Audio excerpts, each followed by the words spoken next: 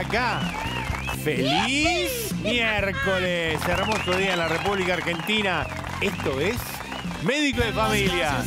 Un programa diferente, un programa en el cual podés confiar, un programa en el cual vienen los mejores especialistas en salud de la República Argentina y te hacen fácil lo que es difícil. Sabemos que te cuesta cambiar hábitos. ¿Sabes por qué lo sabemos? Porque a nosotros también nos cuesta. Y sabemos que cuando te lo pedimos, si te pedimos todo de golpe, no lo vas a cambiar. Por lo tanto, lo que te proponemos son pequeños, grandes cambios. Gracias a Canal 9 de la televisión argentina estoy en este momento en cualquier lugar del país, en el norte, en el oeste, en el sur, colgado de la televisión que tenés en la pared, en el dormitorio, en la cocina, te levantaste de la siesta, terminaste de comer, te estás tomando un café, unos mates o estás esperando el programa cuando muchos nos dicen. Pero nosotros también te estamos esperando a vos. ¿Por qué? Porque puedes estar con nosotros a través de nuestro mail. ¿Y quién es? ¿Quién es la encargada de decirte dónde vos podés comunicarte? Esa voz cálida, hermosa, alegre, divertida de nuestra querida Verónica Castañares. Hola, Vero. Hola, Doc. Buenas tardes. Acá estamos. Qué lindo este encuentro que tenemos todos los días. ¿eh? Arroba Médico Familia C9. Con ese usuario nos encontrás en todas las redes sociales. En Facebook, en X, en Instagram. Arroba Médico Familia C9. Y el correo electrónico que pensamos para vos es muy fácil. Médico de familia arroba canal9.com.ar. A mí me encantaría que ustedes vieran qué pasa cuando yo digo, ¿y quién es? ¿Y quién es? Es fantástico ver el Sí. estudio. Todos contentos porque está Vero Castañare con nosotros. A ese mail que te acaba de decir Vero, vos podés entrar y dejarnos todas las consultas que vos desees. No que sean muy extensas, así te la contesto acá. Y si yo no las sé, las preguntas. La pregunto a alguien que sepa. Y también vos podés ver nuevamente este programa en nuestro canal de YouTube. ¡Ping! Entrás Gratis. ahí gratis, como Gratis, dice Vero. gratis. Entrás y es gratis en el canal de YouTube de Médico de Familia. Y si querés ver en forma parcial, o sea, cada invitado que viene con nosotros o el staff, entras a Tartaglione Salud, pin, te suscribís ahí y podés entrar y ver el invitado nuevamente. Hoy es miércoles, staff completo, pero presta mucha atención porque hay un invitado muy pero muy importante de un tema que para nosotros es más que importante. Y vos que estás en casa y en cualquier lugar del país, te va a servir. Así que cuando escuches el tema, llama a alguien que tenga este problema porque es importante y te va a ayudar a resolverlo. Primer tema del día de hoy.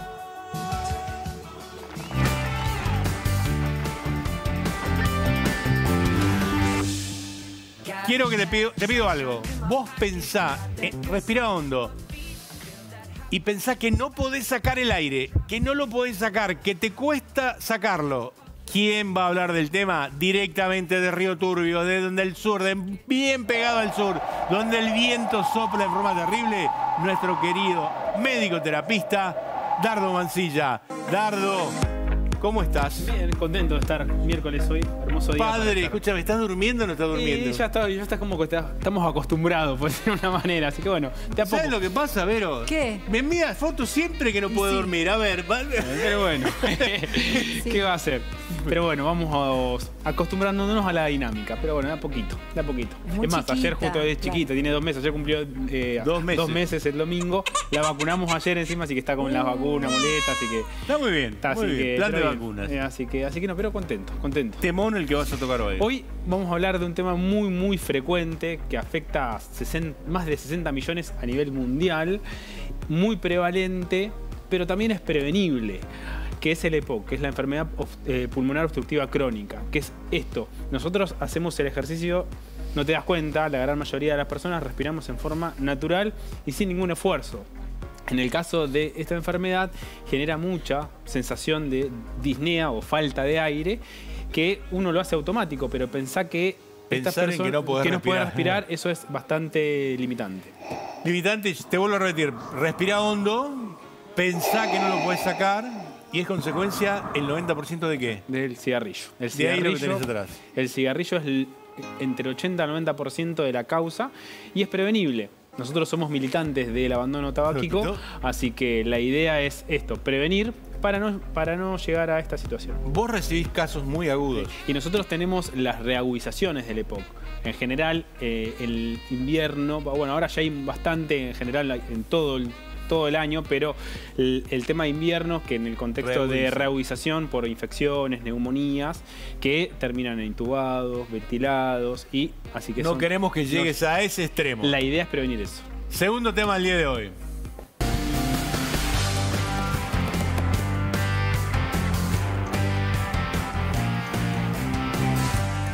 Canal 9 y la televisión argentina me permite recibir a uno de los psiquiatras más importantes que tiene el país, que más sabe y que quiero que vos en casa le prestes mucha atención. Tengo el gustazo de presentar a Marcelo Setkovich, médico psiquiatra, más no te puedo. Pero, pero ¿sabes qué? Sí voy a decir algo más.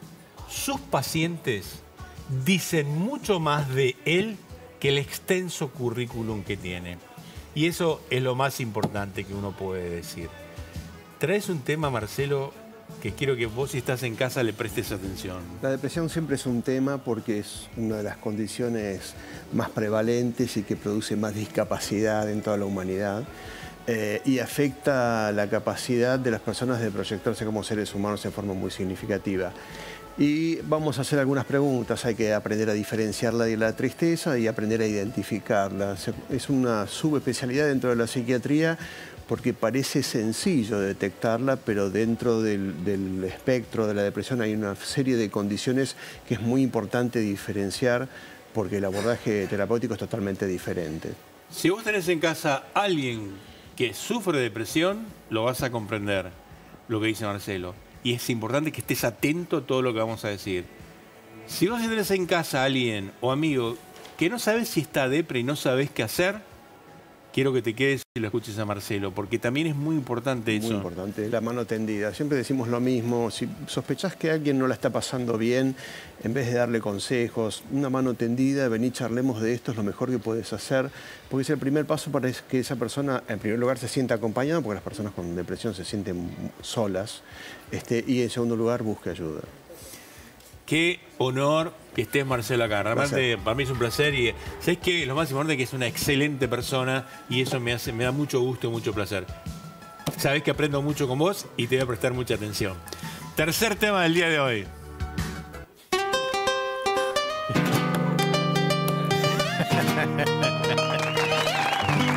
es ella, la mujer de la huerta. Y hoy, la que tiene la huerta andando y florida, así. Y con esta, con esta alegría que generás, mi querida Valentina. ¿Cómo están todos por ¿Qué ahí? temón traes hoy? Hoy traigo un tema muy hermoso. Para mí, muy hermoso. El 80% de mi huerta es este cultivo. Eh, así que para mí también da mucha pasión hablar de él. Y también qué? veo. Del tomate. Del tomate. del tomate. Perdón. del tomate que yo no he encontrado una persona en este mundo que no le guste el tomate y la papa. Y creo, son primos hermanos, son de la misma familia, así que vamos a hablar sobre tips de cultivos para que tengan éxito y puedan cosechar sus tomates en casa. ¿Tomate cherry o, tom- ¿viste ahora el- o tomate tomate? ¿Qué es tomate tomate? Claro, porque viste el tomate, el tomate cherry. Bueno, el tomate, Claro, el está tomate perita, el tomate redondo, el tomate cherry. Eh, a mí. Y el bueno, les traje un par de fotos de las 10.000 variedades que 10.000 existen. En realidad, solo el mercado produce tres, pero en realidad son 10.000 las variedades. Y en mi huerto se cultivan, el año pasado se cultivaron 35, este año cultivamos solo 10. Así que también les traigo un poco de fotos para que desmitifiquemos el que el tomate es rojo porque hay muchas No, variedades. no, para, para. Vos vas a tener que traer tomates de todos los colores cuando tengas los tomates, aunque sea uno de cada uno. Es- eso espero. Y la última pregunta que te hago para después, ¿tiene el mismo gusto? Eh, sí, pero todos tienen un propósito distinto. Hay para salsas, hay para hacer encurtidos, hay para comer cocidos, hay para comer crudos. Así que todos. Está buena la experiencia. ¿Por qué una huerta en un programa de salud? Porque nosotros creemos que vos tenés que tratar esto como una terapia. Para algunos es pasatiempo, para nosotros es terapia. Meter la mano, meter la mano en la tierra, regarlo, ver a tu nieto, a tu hijo, a crecer esa semilla que pone Valen, que crece, es algo espectacular. Hay mucha evidencia que muestra que esto realmente hace muy bien. Y estamos trabajando para que en las residencias para mayores tengan una huerta. Y hospitales crónicos con pacientes crónicos, tengan una vuelta, huerta. Arroba rebrotanto.agroecología, ahí la vas a encontrar. Tre- Tres temas hermosos. Pasa de la abuela a la, a la tía, de la abuela a la hija, de la hija a la madre, así, todo, la generación de enfrente. Viene, te lo dice Gisela, te lo dice otro, alguno te lo dice. Ese mito que tenemos que derribar. Sí. Hoy es un mitón. A ver, Vero, a ver. A ver, Doc, el mito de hoy está en las historias de Instagram, como siempre, arroba médico familia C9, y es el siguiente, lo vemos juntos. El cuerpo necesita 8 vasos de agua al día. Esto es falso, es incierto o es verdadero. ¿Esto qué? Ocho vasos de agua al otro- día. ocho- ocho vasos. ¿Cuántas veces te lo dijeron? Bueno, entra y votá. ¿Dónde, Vero? Arroba médico familia C9 en las historias de Instagram. Acá la mitad dice que sí, la mitad otra dice que no. Vamos a ver vos qué decís en casa. Yo después al final del programa te voy a dar la respuesta. Quiero que escuches esta, ¿sabías qué? Que para mí es muy importante. Y me hace acordar a un gran trabajo que hizo un médico que se llama Roberto Pedro. La importancia de bailar. Y después del ¿sabías qué? Te cuento el trabajo de Roberto Pedro. ¿Sabías que bailar es muy beneficioso para la salud? Cumbia, mambo, cha-cha-cha, flamenco, tango, rock. Un movimiento, otro y otro. Así de fácil podés darle a tu cuerpo y a tu mente pequeños momentos de felicidad que indudablemente derivarán de manera positiva en tu salud. No importa hacerlo bien o mal, solo se trata de animarse a intentarlo, haciendo foco siempre en uno mismo. ¿Qué le pasa a tu cuerpo cuando bailas? Muy simple. Se ejercitan diferentes grupos musculares, todos al mismo tiempo. Así, además de tonificar los músculos, se estimulan las habilidades motoras, se favorecen la coordinación y el equilibrio, aumenta el riesgo sanguíneo y la capacidad de oxigenación. Todas acciones que ayudan a prevenir las enfermedades del corazón. El baile es una actividad física completa en la que también se mejora el estado de ánimo al motivarse la convivencia social. Además de ser una buena opción para combatir el sedentarismo, el baile puede convertirse en una excelente forma de ejercitarse regularmente.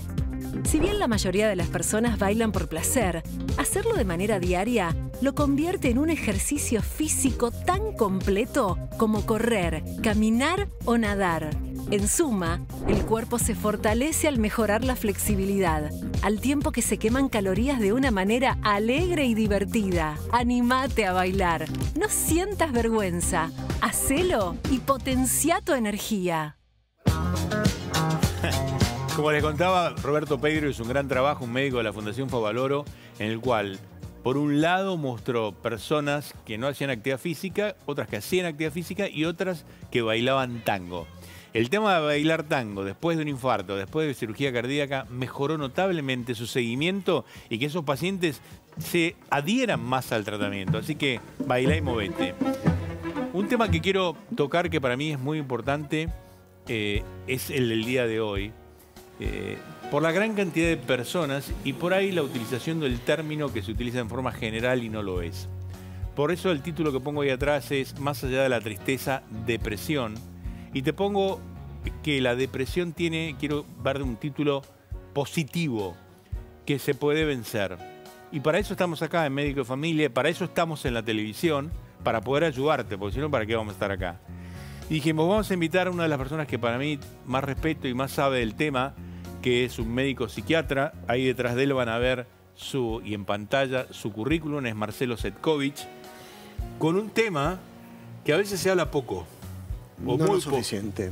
No lo suficiente teniendo en cuenta la alta prevalencia y el alto nivel de discapacidad que produce.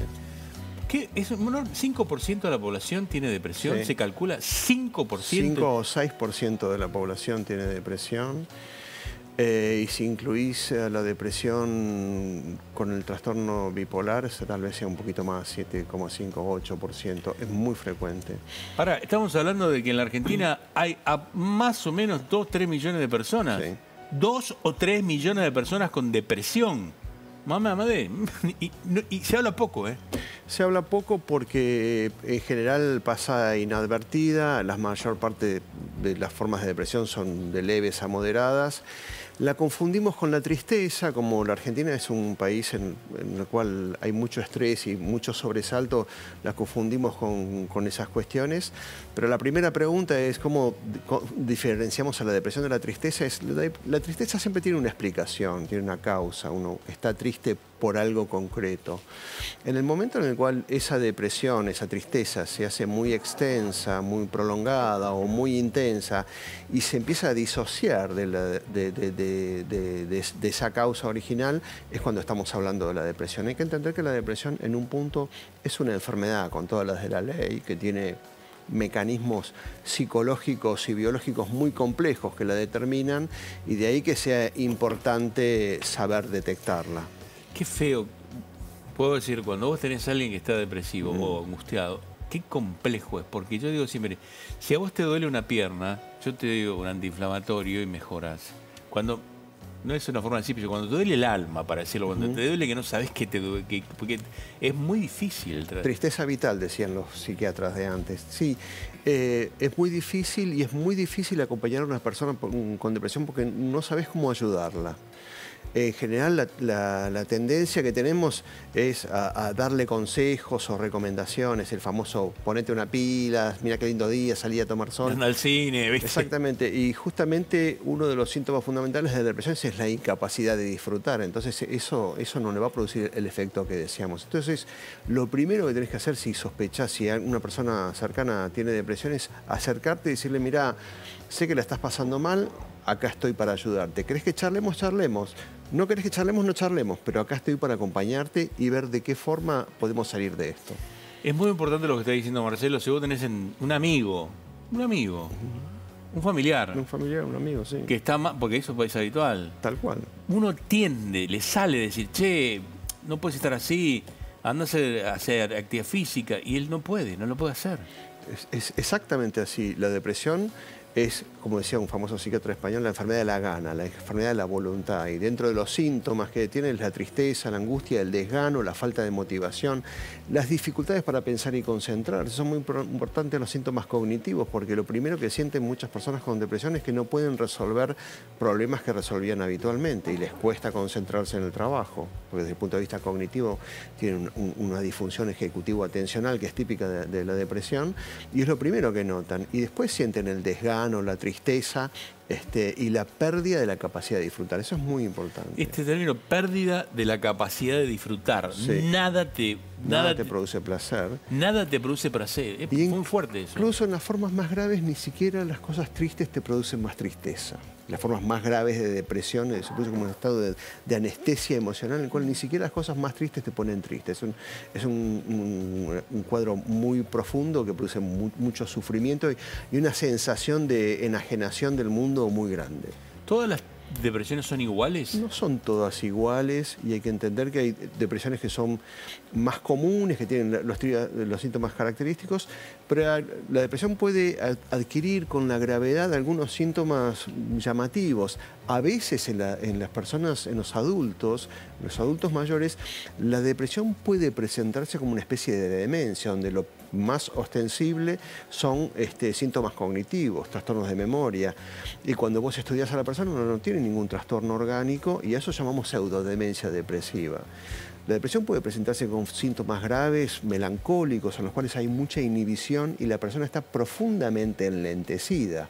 ¿sí? Y eso llama la atención porque es un cuadro muy extraño. O sea que, o sea, las personas mayores, la, eh, talento en su accionar. Eh, puede, puede ser en personas jóvenes también la, la melancolía. Es un, una- un profundo enlentecimiento psíquico, cognitivo y motor.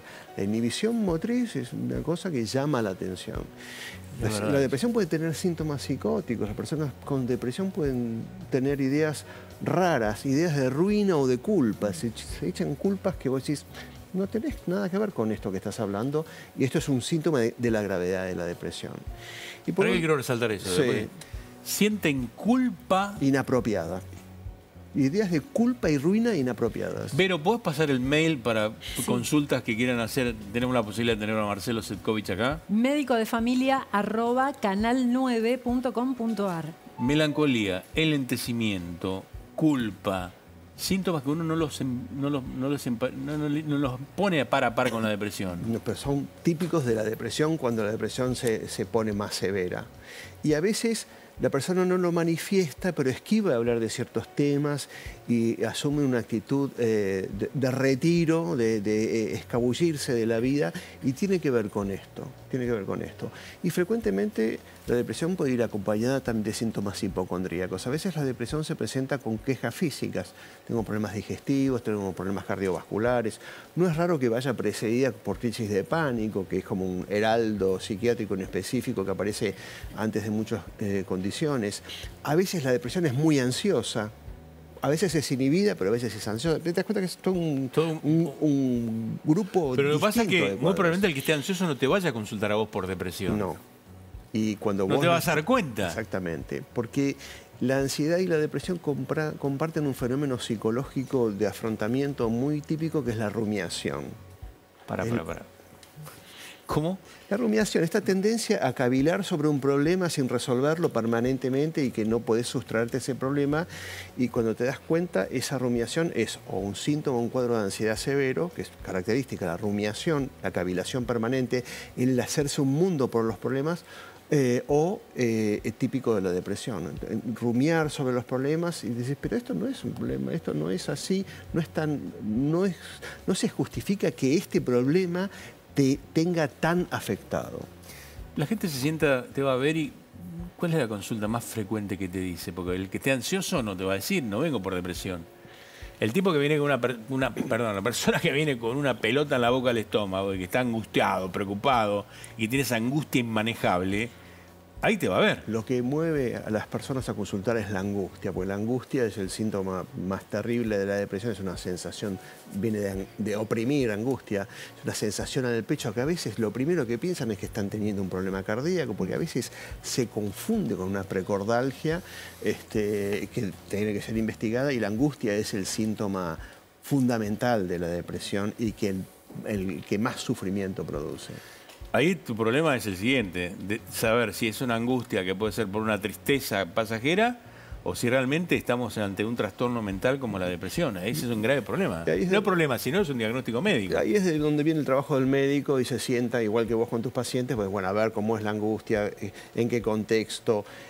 Siempre la depresión a veces tiene un disparador, pero lo que nosotros decimos es que se independiza de ese disparador y ya el- el- la gravedad o la duración sobrepasan eso. Entonces hay que hacer minuciosamente un diagnóstico y diagnósticos diferenciales y ver en qué contexto ocurre esa depresión. Dijiste algo muy importante que es eh, eh, la rumiación, el Sí. hecho que te dé vuelta constantemente la misma historia y no podés salir de ahí, ¿no? Es una cosa increíble. Sí, es una mala forma de, los psicólogos cognitivos dicen, es una mala estrategia de afrontar los problemas, la rumiación, o sea, como el perfeccionismo, también es una forma mala de, de resolver los problemas.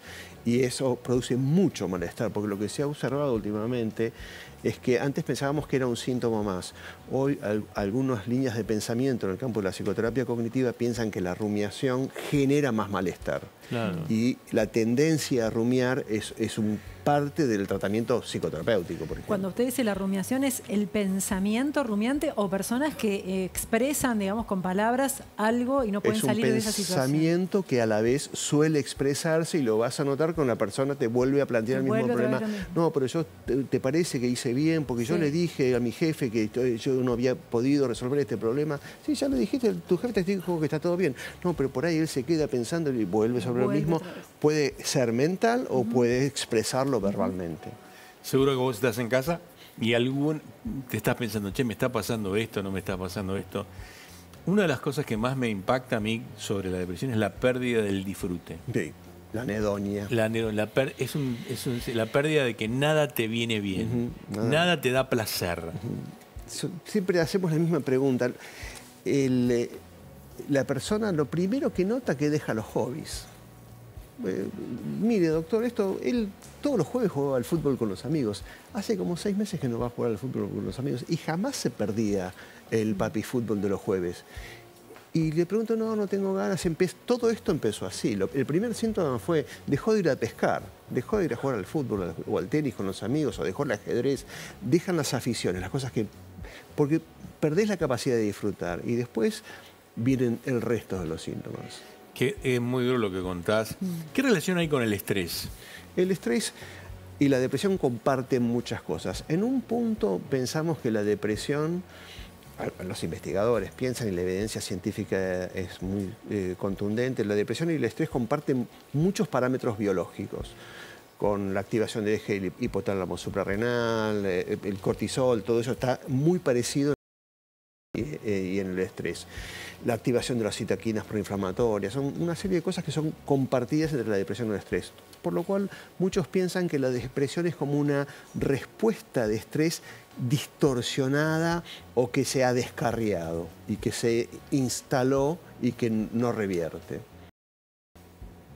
Todos estamos estresados, pero Sí. no todos nos deprimimos, digamos. ¿Hay, hay- hay- hay- hay una predisposición? Hay una predisposición. La depresión, todos podemos deprimirnos, pero evidentemente la depresión tiene una predisposición familiar que eh, hoy en día pensamos en términos de la trayectoria del estrés. Sobre la base de una predisposición genética, hay algunas formas de depresión, como la depresión de trastorno bipolar, que es muy genética. Este, sobre la base de una predisposición genética, hoy en día sabemos que los eventos vitales estresantes, el trauma infantil, la negligencia emocional, entre las carencias precoces, son determinantes de desarrollo de depresión en la vida adulta.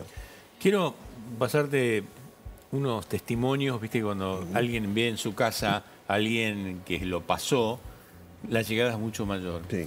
Y quiero que compartir con vos estos testimonios que son muy interesantes y yo creo que si vos en casa te sentís reflejado o ves a alguien que está reflejado con lo que te acaba de contar Marte- Marcelo Setkovich o con estos testimonios. ¿Qué es la depresión? La pregunta del millón. Es una enfermedad silenciosa y una enfermedad invisible. Es como tener una losa inmensa sobre nuestra espalda, sobre el pecho, como si te estrangularan desde dentro. es soledad, eh, es permanentemente nervios y nervios y nervios. Pensamientos negativos. No puedo, no soy capaz, no sirvo para nada. La vida me importa bien poco. que hemos frivolizado la palabra depresión y estar deprimido, ¿no? Porque decimos, estoy deprimido porque llueve, estoy deprimido porque se me acaban las vacaciones, estoy deprimido porque he engordado dos kilos, estoy deprimido por cualquier chorrada. Entonces, cuando luego tú utilizas esa palabra para intentar contar a la gente que estás desesperado, se te queda muy pequeño. Al principio no identificas la depresión, o sea, te preguntas, ¿qué es lo que me pasa? O sea, si yo no soy así. ¿Cómo era tu día a día? Eh, una tortura. Es como hacer eh, la vida normal, ¿no? Eh, ir haciéndola pero mm, sobrecargada y con una mochila que cada vez pesa más. Cada una de las cosas que tiene que hacer me molestaban. Yo no era capaz de cambiarme de calcetines, por ejemplo.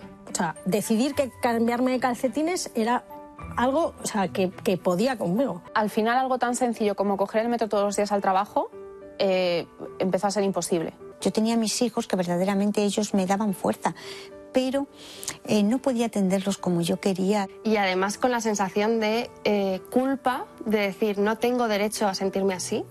Con todo lo que tengo, no tengo derecho a sentirme así. No tengo derecho a hacer sufrir a la gente que me quiere. Yo me levantaba y toda mi obsesión era no irme a la tele, porque ni siquiera encendía la tele, era en el, en el sofá de... En un sofá que teníamos en casa, sí. Y pasarme las horas pensando en las batuecas. O sea, no hacía nada, realmente.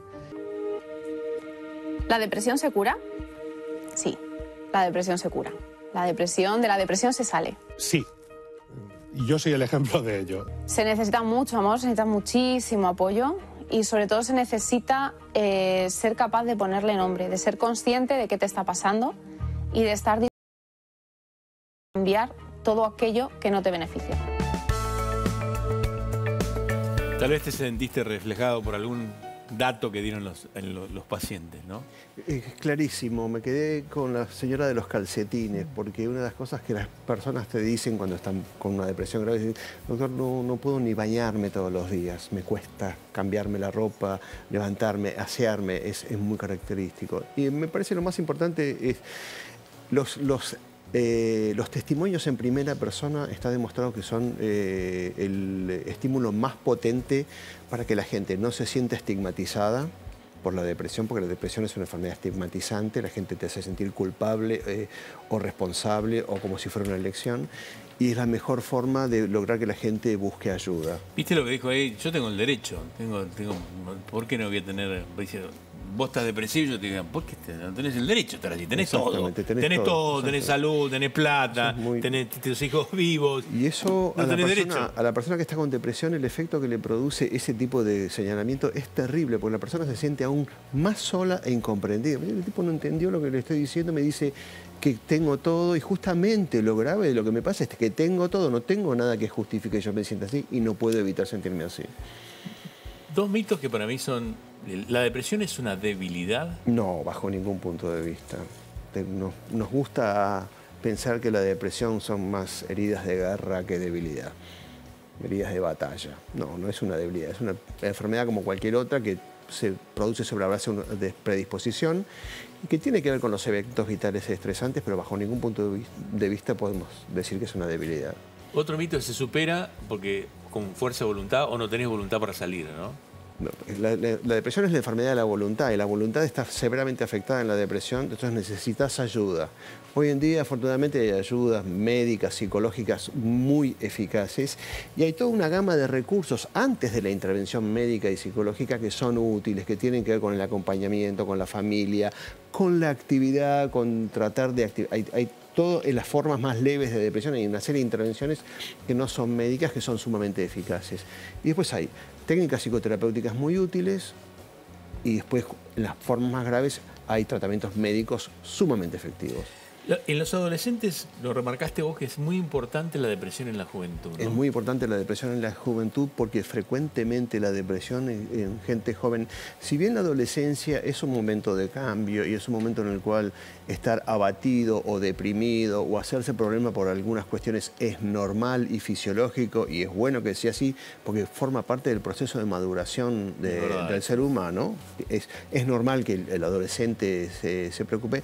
También sabemos que la adolescencia es un momento de inicio de algunos trastornos mentales severos y la depresión en el adolescente nos preocupa porque a veces, no en todos los casos, por supuesto, pero a veces es la forma de debut de la depresión en el contexto del trastorno bipolar, por ejemplo. Es muy frecuente. Ahí hablaste mucho de cuál es la relación entre el la depresión y el trastorno bi- bipolar. La depresión es la.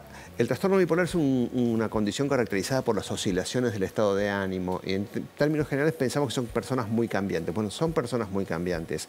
Pero en- en este trastorno que tiene episodios de depresión y episodios de euforia, de exaltación, lo que es más frecuente y duradero es la depresión. El trastorno bipolar se presenta a la consulta como depresión. Entonces es trabajo del especialista decir, ojo, que esta persona que me consulta por depresión en realidad puede tener un trastorno bipolar, porque el tratamiento es profundamente diferente. Vos, eh, quiero de un minuto... eh, sí, Vero, ¿ibas a preguntar algo? No. No, justamente iba a hablar, de- cuando habló de los adolescentes, me preguntaba si ahí se puede detectar recién el inicio y no antes. Digo, ¿niños deprimidos pu- puede haber o no? Puede, eh, Niños, eh, los niños se deprimen. Sí, sí, los niños se deprimen, por supuesto, y aunque parezca mentira, la depresión y el trastorno bipolar Verónica, puede empezar en los niños, sí. Eso es muy importante tu pregunta porque hay una tendencia a decir los niños no se deprimen, no, los niños se deprimen profundamente.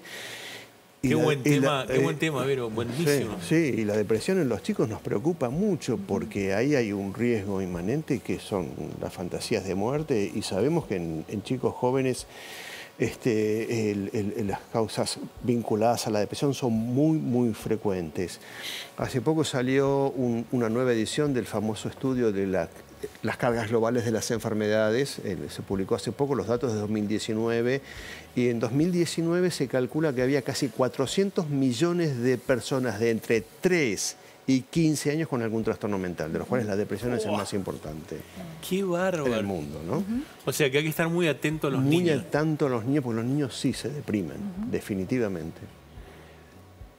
Claro, ¿y por qué, qué pasa? ¿Esto pasó siempre o pasa más ahora? Pasó siempre, vos sabés que pasó siempre, lo reconocemos más ahora y durante mucho tiempo pre- eh, eh, em, pensamos en, en hipótesis más de índole psicológico, pero en- entendimos que hay algunas formas más graves de depresión que pueden empezar en la infancia y que requieren un, un tratamiento muy específico. Vamos a hacer una campaña de la Organización Mundial de la Salud sobre lo que es depresión. Un poco quiero después charlar si esto se relaciona con el suicidio, con- quiero charlar un poco eso. ¿Y qué hacemos? Vamos a la campaña de la OMS. La depresión es la principal causa mundial de discapacidad. En los casos más graves, la depresión puede llevar al suicidio. En situaciones de emergencia humanitaria, una de cada cinco personas sufre depresión y ansiedad. La depresión y la ansiedad cuestan a la economía mundial un billón de dólares al año. Por término medio, solo el 3% del presupuesto sanitario de los gobiernos se destina a la salud mental. La depresión se puede prevenir y tratar con un costo relativamente bajo. El tratamiento suele consistir en terapia de conversación o medicación antidepresiva, o ambos métodos. Si cree que puede padecer depresión, hable con alguien de su confianza. Pida ayuda profesional. Depresión. Hablemos. Quiero que si quiero que si esto te resulta como disparador para agarrar el teléfono y llamar a alguien, que no lo dudes, ni un instante, que no lo dudes. Para eso estamos, para darte una mano, para ayudarte. Marcelo empezó la charla diciendo, hay que tender una mano. Y, y es real. Yo te decía recién, qué difícil es entrarle a la persona depresiva. Es muy difícil, es muy difícil porque eh, el mundo se ha cerrado y se ha volcado, está volcada a su sufrimiento y es muy difícil entrarle y es muy difícil generar lo que uno siempre quiere lograr en un paciente, es, la esperanza en la recuperación, es muy difícil. En el informe se menciona algo que me parece sumamente relevante, que es son las muertes por suicidio. Sí, y las muertes por suicidio son un tema que nos preocupa mucho. una- eh, se producen cerca de 800 millones de fallecimientos por suicidio en el mundo al año. Y es una, condición, es una situación muy difícil de predecir, pero que se puede prevenir. Y lo primero que hay que hacer, que después de mucho tiempo, empezar que no había que hablar del suicidio, hemos aprendido que hay que hablar del suicidio. Y si vos sospechás que hay alguien que sea vos se te cruzó la idea, este está pensando algo raro, no tengas ninguna duda en ir y decirle qué pasa. Porque hemos aprendido que hablar es mucho mejor que no hablar. Lo que no hay que hacer es ciertas cuestiones con respecto al suicidio, de cómo se habla, pero es, eh, es importante reconocer esto y reconocer que, como decíamos hace un rato, por la pre- pregunta de Verónica, las muertes por suicidio son las principales causas de fallecimiento en gente joven. Durísimo, lo que, durísimo es eso. Prevención de la depresión, ¿tenés esto de... eh, eh, ¿Hay alguna manera de relaciones sociales? ¿Cómo, cómo- Sí, una vida sana, sin lugar a dudas, previene. eh, eh, es una de las cosas que sabemos que previene. El, eh, el- el informe sobre la danza, que es muy importante, es una de las. La actividad física es una de las cosas que sabemos que definitivamente previenen. Los datos del Instituto Cooper, por ejemplo, demuestran, entre todas las cosas que vos conocés mejor que yo, que una de las cosas que previene la actividad física regular es la depresión. Entonces, en personas que están en recuperación por depresión, cuando la depresión se nos permite, la incorporación de la actividad física regular es una de las cosas que más estamos trabajando porque tiene un efecto farmacológico ¿eh? sobre el estado de ánimo, la depresión. Te hago la última pregunta, unas últimas, es, las nuevas tecnologías, lo- la inteligencia artificial, ¿pueden darnos una mano con Sí, esto? nos van a dar una mano. Eh, nosotros tenemos que entender que en- ante enfermedades tan frecuentes, el agente sanitario es una rareza demográfica. Hay pocos médicos y psicólogos. Si nos pensamos en el planeta, entonces una experiencia, te cuento, en una universidad americana, los americanos están muy preocupados por las tasas de depresión y ansiedad entre los jóvenes estudiantes. Entonces desarrollaron un método, una cosa que se llama fenotipado digital, les pidieron a los alumnos los teléfonos y les mandaban unos cuestionarios para medir la ansiedad y la depresión, pero además les decían, "Dejamo- déjanos revisar tu teléfono sin, eh, sin nada más que eso. Entonces descubrieron que la forma en la cual los chicos interactuaban con los teléfonos permitían predecir Ah, los niveles de ansiedad y depresión. Entonces, Qué este bueno tipo eso. de cuestiones y estamos aprendiendo a detectar, eh, en, en medicina se está usando mucho el procesamiento del lenguaje natural y pensamos que en salud mental va a ser muy importante. Marcelo, quiero terminar con esta placa. No sé dónde estás en el país y de dónde nos estás viendo. Pero si esto te hizo generar una reflexión y la charla con Marcelo, pedí ayuda. Agarra el teléfono, pedí ayuda, busca un profesional. Estés en el, el pueblito más chiquito de la Argentina, o de Bolivia o Paraguay que nos ven, o de Uruguay. El lugar más chiquito que estés, pedí ayuda. Porque, como dijiste al principio, hay que tender la mano y se sale. Y se sale. La depresión eh, te- te- tiene tratamientos. Hay muchas formas de ayudar a una persona con depresión. Y la última, si vos ves a alguien que no está bien, también, también, no le pidas salir a bailar. Si no, decile, Acá estamos. acá ¿Querés estamos, charlar? Acá dame la estamos. mano. Sí, no es malo Marcelo, para mí es un gustazo, la verdad Un que es un honor que estés en Médico de Familia. Eh, nos conocemos hace mucho y que estés acá para mí es muy placentero y para las personas que están Para en mí casa. también, Jorge, es un placer. Es director del INECO. Director médico de INECO. Director médico de INECO, una de las instituciones más importantes en psiquiatría y en psicología que tiene la República Argentina. Muchas gracias, Marcelo. Muchas gracias Muchísimas gracias. Vamos a algo que me pertenece a mí un poco más, que es el tema del colesterol. ¿Sabía qué colesterol? que si tenés entre 20 y 30 años, no podés dejar de saber qué valor de azúcar y colesterol tenés en sangre y qué cifras de presión arterial tenés.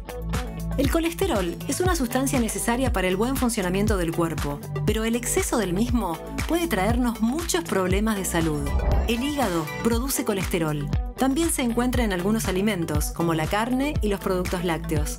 El cuerpo necesita algo de colesterol para funcionar bien. Pero si tiene demasiado colesterol en sangre, tiene un mayor riesgo de enfermedad arterial coronaria. Si tenés 20 años o más, debes medir tu colesterol al menos una vez cada 5 años. Una prueba de sangre llamada panel de lipoproteínas puede medir tus niveles de colesterol. Antes de la prueba, debes ayunar, no comer ni beber nada excepto agua por 9 a 12 horas. No te olvides de controlar tu colesterol. Un análisis de sangre es la herramienta más eficaz para saber qué nivel de colesterol tenés, además de tener una vida saludable en la que te cuides en las comidas y realices ejercicio físico.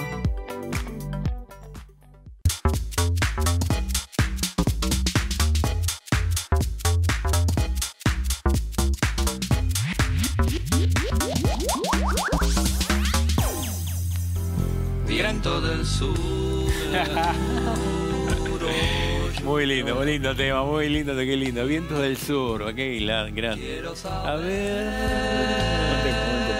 ¿Dónde quedo? Y me hace acordar a mi adolescencia cuando me puse novio con Grace. Mira. Ay, qué lindo. Doc. Mira qué momento. Bueno, trajiste un tema que hablando de viento y hablando de respiración es tremendo.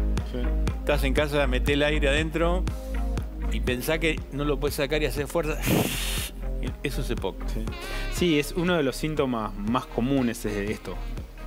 Lo que sucede es hay dos grandes grupos dentro de el EPOC de enfermedades en sí. Uno que es la bronquitis crónica, que genera mucho tos, tos, tos, que genera inflamación de, de los que son los bronquios. Y después tenés el enfisema, que es el daño pulmonar del parénquima del pulmón.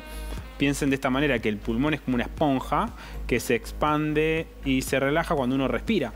Y cuando se daña la estructura, eso genera como globitos que más, más va generando, generando y, y te limita mucho el tema de cómo puedes sacar el aire. Pero bueno, en Argentina hay un montón de... Pero ¿La a nivel cantidad? cantidad de pacientes es muy, muy alto. Es, un- es una de las tres este, causas más frecuentes, tercera causa de muerte a nivel internacional y mundial, y Argentina también. Muchos, más de 60 millones, en Argentina hay un montón, más de 3 millones de personas que padecen. y- Todos tenemos en la familia, sin nombrarlo, todos tenemos en la familia alguien que fumó y hoy no puede respirar. Todos tenemos en la familia, amigo, conocido que fumó y hoy no puede respirar. Sí, sí, sí. Y piensen que el 75% de las personas no lo sabe. Se subdiagnostica. O sea, hay muchas personas que fumó, fumó activamente, dejó de fumar y por ahí nunca se hizo los controles y tiene un daño estructural en el pulmón. O fuiste un fumador pasivo, 20, 30 años, y también tenés daño pulmonar y no lo sabés también. Pasivo se refiere a que tu marido fumó o, o tu mujer fumó, conviviste en la misma casa, tus hijos pequeños convivían en una casa de fumador, que ahora se ve menos, por suerte. Va, no sé, porque en mi mi medio ya no fuma nadie. Sí. Pero, Pero se ve, por ejemplo, el otro día nosotros fuimos a cenar y había gente fumando alrededor. Nosotros estábamos con, con las nenas y, che, ¿podés apagar el cigarrillo? Diciendo, este, y, as- y hay que tratar de eh, concientizar el hecho de también para los chicos chicos, porque es como que están en contacto con el humo y eso genera mucho broncoespasmos y demás. Hablábamos a alguien que había llevado a su hijo a la cancha y le llamaba la atención al nene la cantidad de fumadores que había en la cancha. Y eh, porque ahora se trata de limitar un poco, ¿no? Sí.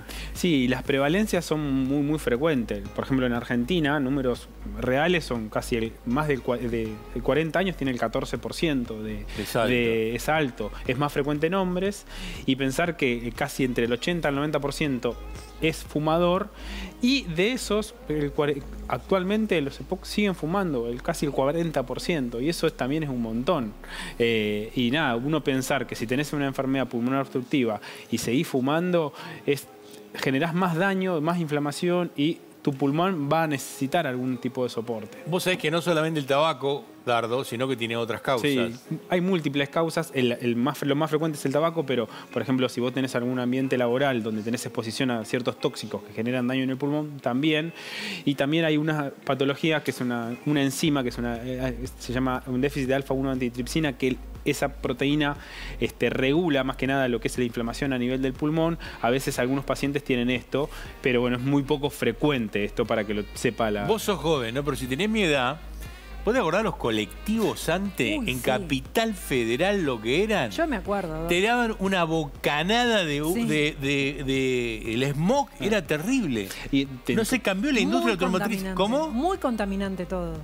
Terrible, ahora Lo- cambió un poco. la- en, la- la- la- en los aviones, en los aviones uno fumaba. Vos vas No, al- pero yo te hablo de. ah, vos salías a la calle acá Sí. Y pasaba el, el 12 y te tiraba una Un humo humareda negro como. tremendo. de- un humo negro de- tremendo. Y, y era peor que fumarte un paquete de cigarrillos. Antes se fumaba en todos lados, pero te- me acordé de eso, porque cuando dijiste tóxicos ambientales laborales, Ah. me acordé del smog de los autos. Era terrible. Sí, es terrible, pero bueno, por suerte se cambió toda la conducta y la conducta para hacia todos y esto está mucho más este para todos, o sea, a uno antes le daba vergüenza decir, "Che, ¿podés apagar el cigarrillo?" Sí. y ahora ya no, "Che, disculpa, estoy comiendo con mi familia, ¿podés apagar un poco el cigarrillo?" porque no no, no, no me tengo que estar eh, exponiendo a tu humo en sí necesariamente. hay que decirlo. Vamos a ver un 3D, el cual te, vamos, te va a explicar más no, lo que acaba de decir Dardo, pero para que vos tengas presente que si estás fumando en este momento, o fumaste, lo puedes reparar, y si ves a alguien que fuma al lado tuyo, esto tiene solución, Figo, que espero que vuelva Figo, la, la extraño, Fiorella acá, eh, pasa esto con tu pulmón. Normalmente, al inhalar, el aire se mueve libremente por la tráquea. Luego pasa por grandes tubos llamados bronquios, a tubos más pequeños llamados bronquiolos, y finalmente llega a pequeños sacos llamados alvéolos. Pequeños vasos sanguíneos llamados capilares rodean a los alvéolos. El oxígeno del aire que respira pasa a los capilares. Luego el dióxido de carbono de su cuerpo pasa de los capilares a los alvéolos para que sus pulmones puedan deshacerse de él al exhalar. Normalmente las vías respiratorias y los alvéolos son flexibles y elásticos. Al inhalar, cada saco de aire se infla como un pequeño globo. Y al exhalar, los sacos se desinflan. En el enfisema, las vías respiratorias y los alvéolos pierden su forma y se vuelven flácidos. Esto hace que fluya menos aire dentro y fuera de ellos. El enfisema destruye algunas de las paredes de los sacos de aire, lo que genera menos sacos grandes y proporciona menos superficie para absorber el oxígeno del aire que respira. Con el tiempo, estos cambios pueden bloquear el flujo normal de aire, dando como resultado una afección llamada atrapamiento aéreo. Esto significa que algo de aire queda atrapado en sus pulmones al exhalar. Y como te decía hace un rato, te queda atrapado el aire adentro. Síntomas, Dardi. Síntomas, lo más frecuente que se ve inicialmente es disnea, o sea, falta de aire. En general, al principio es ante esfuerzos muy intensos, pero si va generando daño en el pulmón, ante esfuerzos mínimos, la falta de aire es mucho más marcada. Y otra de los síntomas muy cardinales que es la tos. Tos puede ser en forma crónica, seca o con expectoración, que son lo que es mover la flema, por decirlo para que se entienda en forma eh, burda, pero en general es tos con o sin expectoración. Dardo, vos sos terapista, las pacientes- personas tienen un pequeño POC, tienen un moco y los descarrila, Sí, tocan la banquina. Cualquier proceso infeccioso que esté en el pulmón este, genera exacerbación, aumenta mucho lo que es la, de- la demanda respiratoria. Por lo general, los pacientes que ingresan en la terapia intensiva, nosotros respiramos habitualmente entre 15 20 por minuto de frecuencia respiratoria y pe- pensá que cuando ingresan con nosotros llegan como a 40, 50 por minuto y eso es una eso es como si estás corriendo un maratón en la cama. Yo siempre lo explico de esta manera simple porque nosotros tenemos músculos para poder respirar y si los músculos se agotan, eso genera agotamiento respiratorio y a veces paro respiratorio por el agotamiento en sí. Y cuando viene la terapia intensiva tratamos de darle soporte, o soporte con ventilación no invasiva, que sería la BNI, cánula nasal de alto flujo, o en su defecto, cuando no hay otra cosa, intubarlo. ¿Para qué? Porque el diafragma y todos los músculos intercostales consumen mucha energía y genera mucha, mucha demanda para el paciente. Y a veces no tenemos otra cosa que dejar los músculos respiratorios en reposo y de a poquito ver si se puede sacarlo. tiene mucho trabajo el kinesiólogo, ¿no? El kinesiólogo, ahora hay, eh, ya hace más o menos 20 años, hay, hay mucho, eh, dentro de la terapia intensiva es un equipo multidisciplinario, pero hay muchos kinesiólogos que se dedican, no kinesiólogo para mo- motor, sino para la parte respiratoria, lo que son toda la parte de la rehabilitación y el manejo del respirador con asistencia del médico para que es una visión en conjunto y eso ayuda mucho. Yo siempre tengo la- el recuerdo, Mariano Nakasato, Mariano Nakasato era el, el kinesiólogo de terapia del hospital. Les daba una paliza, los tipos quedaban, fu- quedaban, claro, pero les hacía muy bien, o sea, Sí. te- termina muy cansado después de golpear la espalda, golpear la barra, para acá, por allá. Si te pasó, lo vas a ver. Sí. Pero re- después estaba muy bien. Sí, ahora en las terapias intensivas hay mucho ah, el tema de la rehabilitación en terapia intensiva, el tema de la movilización precoz, tratar de, si está en el respirador, tratar de suspender sedación en forma de rápida cuando se resuelva la causa y poder movilizarlo al paciente. ¿Por qué? Porque cuanto más tiempo en la cama pierde fuerza muscular, pierde todo lo que previamente tenía y eso es dificultoso en sí para, para rehabilitarse y para recuperarse después, para que vuelva a lo que era previamente. Te invito a que hagamos unos testimonios. Vos sabés que aquellas personas que lo sufrieron lo cuentan mucho mejor que lo que contás vos Obvio. o lo que yo lo cuento. Vamos a verlo. Pues yo sobre el 2003 empiezo a notar que me canso más, me encuentro mucho más fatigada, eh, ya no puedo correr detrás de la niña como corría antes, ni llevar los pesos que llevaba antes. Entonces voy al médico y me empiezan a hacer pruebas. Primero me empiezan diciendo que, que es por fumar. En 2007 ya tengo una neumonía que la cojo en verano, en pleno mes del verano, cojo una neumonía muy grande en la cual me ingresan y ahí ya es cuando sí de verdad me dicen que tengo EPOC y ya la tengo en una fase grave. El médico me dijo que si no dejaba de fumar mm, sería de las personas que van con un, ¿cómo se llama? Con un carrito de estos con oxígeno, o en la espalda, o, o así de estos que es como un carrito, o colgado, o- entonces me lo puso muy difícil. Noto un poquito mm, cuando subo las escaleras, porque yo trabajo en la limpieza, entonces cuando, cuando subo, porque los, lo- yo trabajo en la limpieza en portales, entonces mm, por suerte o por desgracia los portales que yo limpio no tienen ningún ascensor. Entonces me subo hasta el cuarto de un tirón cargada, entonces cuando llego por el tercero ya me voy viendo un poquito sofocada. Lo del oxígeno me lo he tomado como una rutina. Tengo cuatro horas libre, vivo con mi mujer y entonces digo, ¿sabes qué? En lugar de cocinar nos vamos al restaurante al mediodía.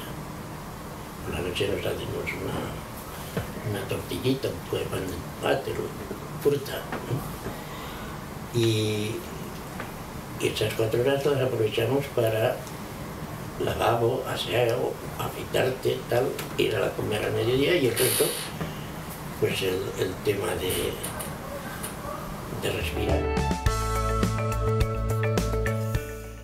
Vos viste la cara de fumador que tienen todo, ¿no? Sí, y, y hablamos también del tórax, el tórax en tonel. En general lo que sucede en el pulmón y en el tórax como que se ponen más cuadrados, el, es que se llama tóra- tórax en tonel o tórax enfisematoso, porque como se dilata, el, el diafragma baja más y como que la caja torácica es mucho más ancha. Más que nada porque el pulmón queda como que inflado de más. ¿Ves los labios? Sí, Vero. Sí. No, digo, o sea que una vez que se diagnostica EPOC es irreversible, o sea, ya vivís con EPOC para siempre. Eh, sí, en general Ah. la idea es prevenirlo. Claro. Lo que sucede es la lesión que vos tenés en el pulmón es irreversible. Claro. Tantos años de cigarrillo, el enfisema, que es el, el daño estructural de lo que es la esponja del pulmón, eso no se puede re- regenerar, lamentablemente. O sea, se trata o con broncodilatadores, como serían los PAF, oxígeno si necesita, rehabilitación pulmonar si lo requiere y si necesita o no oxígeno en- eh, domiciliario. Eso por lo pronto, eh, la idea es prevenir, no, no llegar a Claro. ese momento. Pero fíjate, la voz de fumador, Sí, el labio de fumador, el color de la cara de fumador. Eh, los dedos, los, los dedos, dedos. de fumador. Ahora estoy viendo menos dedos en martillo y palillo de tambor, que se decía, Sí. que era la, y la uña- eh, las uñas en vidrio de reloj. Me estoy acordando de la semiología. Pero en esa época, que se- pero algo muy impactante que vas a ver ahora, pero muy, muy impactante, es una campaña de Imanol Arias. Que cuando la vi dije, mamita, quiero que vos- si vos estás en casa y te sentís identificado, bueno, esto pasa, se puede mejorar, no se puede curar, pero se puede mejorar. Hay mucha medicación para ayudarte hasta a vivir mejor, pero lo ideal es no llegar a esto. Mirá Imanol Arias.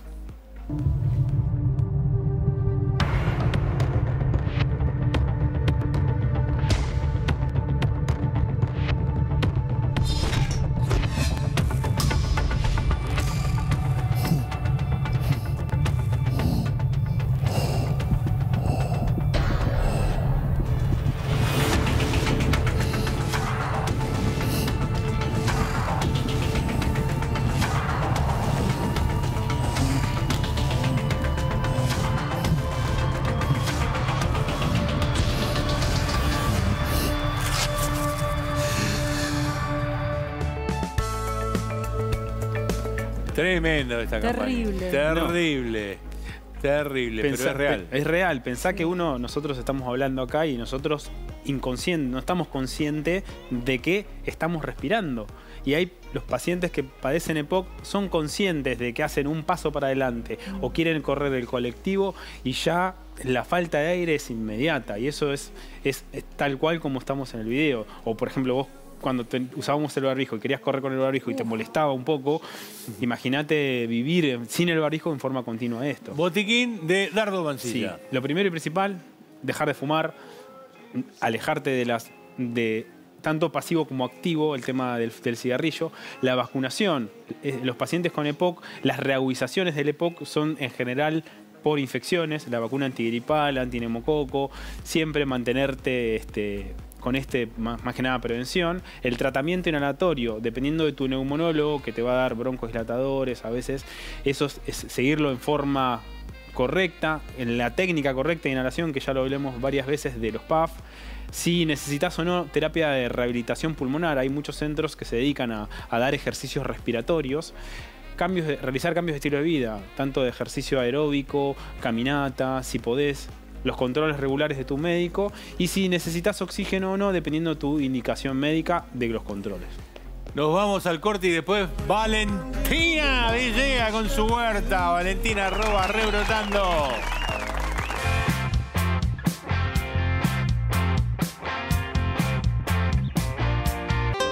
Qué linda imagen, Valentina. Hermosa imagen de la flor del cibulet. Qué rico gusto tiene el cibulet. Hermoso, hermoso. ¿Con qué lo comes? Con, con todo, lo como yo. en la ensalada, te salva cualquier comida. No, es buenísimo. Mirá, y la, Y quedó muy bonito en la huerta. sopa, sí, claro. y la flor que tiene, ¿no? Un relleno, cibulet. Divino, Exacto. divino, divino. Con divino. quesito crema para después También, en las tostadas. Y crece fácilmente. El, Mira. el del balcón crece muy fácil. Exacto, es una planta muy fácil de cuidar. Eso es- para mí es lo que más me gusta porque se Yo puede tener en no, todos recu- lados. no recuerdo si le pusimos eh, semilla o, plantín acá? Estaba cuando llegué, así que seguramente un plantín. Plantín, pero plantín, pero bueno, hace mucho, mira, tiene más de un año y tiene funciona. su- su- un año por lo menos debe tener. Sí, sí, sí. Gran tema tenés hoy, tomates. Hoy tenemos el tema tomates, que es un tema. ¿Quién no, que tiene huerta siempre quiere arrancar con un tomate? Así que la idea es como tener en cuenta algunas cosas. Porque fuera de que es un cultivo muy lindo, muy abundante, da mucho alimento, tiene sus tips para tener en cuenta y esto es lo que les quiero traer hoy para ustedes. No sé si se acuerdan, pero este tomate nosotros lo sembramos. Una, era una semilla aire. pequeñita, ¿eh? Sí, sí, sí. Y bueno, después lo pasamos a tierra, luego le hicimos otro trasplante a esta maceta y ahora ya lo vamos a llevar a su lugar definitivo, teniendo en cuenta estas cositas que les vengo a compartir ahora.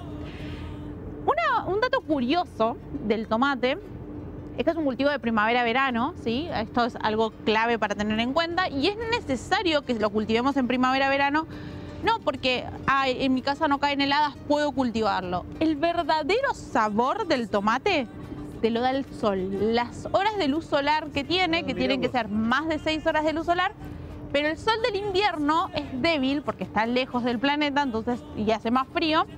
El sol del verano es el que le da el verdadero sabor a tomate que conocemos. Por eso si compraron tomates este último tiempo en la verdulería posiblemente no sea tan Hay que dulce. esperar el verano, verano. Exacto. Es ahora cuando empezamos a, hacer- a tomar sabor porque el, el sol está más cerca de nosotros y hace más calorcito. Ahí hay una placa. ¿Cuántas horas necesitas de, de- Bien. de- de sol? Mínimo son 6 horas para arriba, ¿sí? Los tomates cherry son los que menos luz solar necesitan.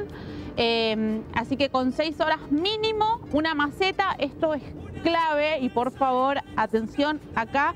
La maceta no puede tener menos de 20 litros. ¿sí? Una maceta de 10, de 5 no va a llegar, por ahí llegue a fructificar, pero no va a tener la abundancia porque este, va a estar débil, no va a tener los nutrientes que necesita. Así que mínimo 20 litros la maceta para estar bien y, y sana. Y otro dato importante es el tutor, porque los- las plantas de tomate pueden llegar a medir hasta 4 o 5 metros, ¿sí? Son plantas muy, muy grandes e incluso si nosotros dejamos, y acá hay un dato curioso, interesante, si la cámara me toma, vamos a ver que vamos a tener, tenemos el tallo principal y tenemos ramitas que van hacia los costados. Y podemos ver también que tiene como unos mini pelitos. Estos mini pelitos pueden ser futuras raíces, tienen la capacidad de hacer más sistemas radiculares. Entonces, en la naturaleza, la planta es rastrera y va este, haciendo nuevas raíces para seguir alimentándose. Nosotros, para una cuestión de practicidad y para que nos rinda más el espacio, lo que hacemos es entutorarla hacia arriba para que justamente los frutos no estén en contacto con la tierra y podamos disfrutarlos nosotros y no los bichitos.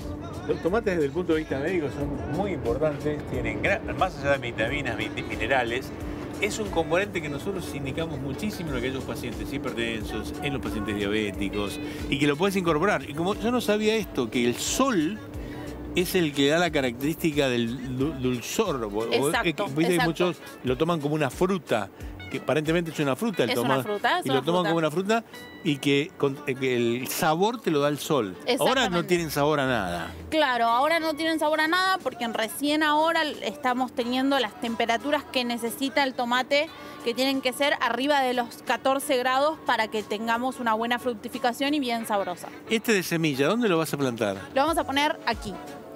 Lo vamos a poner aquí entre medio de unos perejiles y unos eh, cebollas de verdeo. Buenas o malas asociaciones. ¿Con qué puedo combinar en esta maceta de 20 litros al tomate para que nos rinda bien el espacio? En, un en una maceta de 20 litros pueden poner un tomate y pueden poner cebolla de verdeo, lechugas. Ah, eh, también pueden poner eh, albahacas, que lo que van a hacer, la cebolla de verdeo y la albahaca sobre todo, es muy perfumada y repele insectos. Entonces está bueno tenerlas y así también Se optimizar el pones el tomate en el medio La albahaca, la cebolla, Exacto. que repele los insectos por el Exacto, tomate. Por el olorcito, exactamente. Entonces es una buena asociación, así se habla en términos huerteros. Está buenísimo. Que, eh, ¿Quiere pasarme la palita que anda Pero por ahí? claro, como usted ordene, acá, acá. Tips de siembra, importantísimos.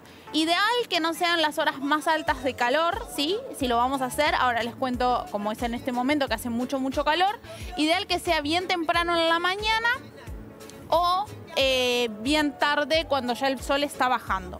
Vamos a hacer un pocito del tamaño de la maceta o más grande. Recuerden que tiene la capacidad de hacer sistema radicular, los tallos de la planta.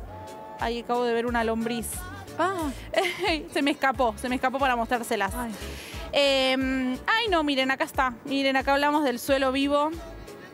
Las lombrices, muchas personas piensan que.